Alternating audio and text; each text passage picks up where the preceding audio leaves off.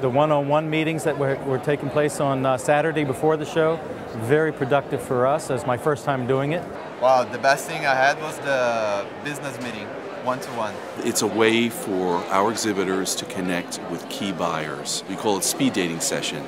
Um, exhibitors have 10 minutes to talk about their product, meet with some critical buyers. It's a very efficient way to enhance this whole experience that the exhibitors, the members, and the buyers want at the Fancy Food Show. Uh, the speed dating.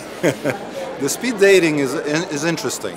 We are meeting people who are actually are in position to buy our product. It's only 10 minutes per session, but that's a lot longer than you might spend at any booth.